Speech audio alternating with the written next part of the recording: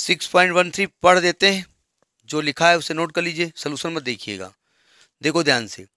लेकिन it is desired to measure the magnet magnitude of field between the poles of a powerful loud speaker magnet आप जानते हैं loud speaker में magnet होता है। ठीक है?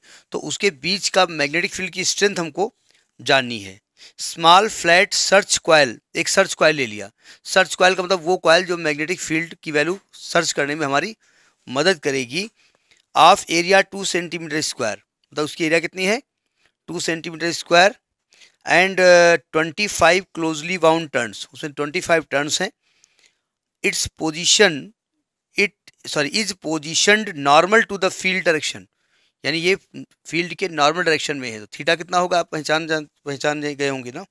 And then quickly snatched out the field region और क्विकली ये बाहर निकाल ली गई है।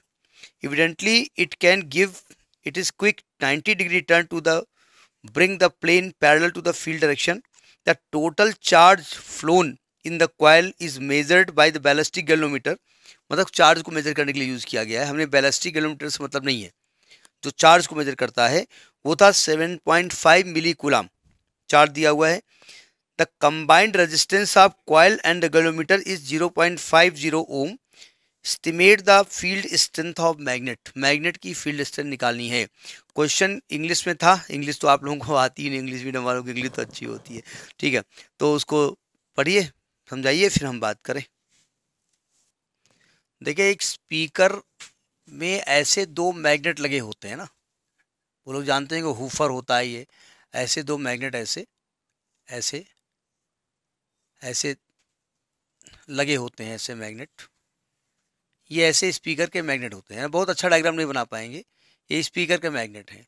ये मान लिया नॉर्थ पोल है, ये ये मान लिया साउथ पोल है। ठीक है? तो इसके बीच में एक मैग्नेटिक फ़ील्ड है। उसी की फ़ील्ड की स्ट्रेंथ हम जानना चाहते हैं। ठीक है?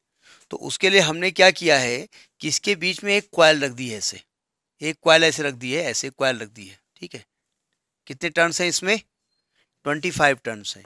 और ये नॉर्मल रखी गई है, यानी कि ये आपका एरिया वेक्टर स्क्वाइल का है। यानी कि मैग्नेटिक फ़ील्ड और उसके बीच जो एंगल है, कितना है वो? ज़ीरो डिग्री क्योंकि एंगल किसके किसके बीच होता है? Magnetic field and area vector के बीच में होता है। अब देखो इनिशियली ये क्वाइल रखी हुई है, ठीक है? तो इनिशियल फ्लक्स कितना उसे पास हो रहा है? B into A cos zero B बोले तो पता नहीं। ए बोले तो बाद में बात करेंगे। बी इंटू ए लिख दिया। इनिशियल फ्लक्स है। और फिर कहते हैं, हम क्या करते हैं, इस क्वाइल को एकदम से बाहर निकाल लेते हैं। क्वाइल को अंदर रखा और फिर बाहर निकाल लिया, उठा करके। बाहर निकाल लिया तो फ्लक्स कितना हो गया? फाइव टू कितना हो गया? ज़ीरो हो गया। चेंज हो गया ना फ्लक्स में? फ्लक्स का चेंज हो गया। तो उस फ्लक्स के चेंज होने से एक ईएमएफ e इंड्यूस हुआ। तो कितना हुआ इंड्यूस ईएमएफ इंड्यूस्ड ईएमएफ क्या होता? ई e बराबर minus delta phi B upon delta t minus phi two minus phi one upon delta t. अब इंड्यूस्ड ईएमएफ की वैल्यू कैसे निकालें? ई e बराबर क्या होता है? आई आर तो आई आर हो जाएगा ना?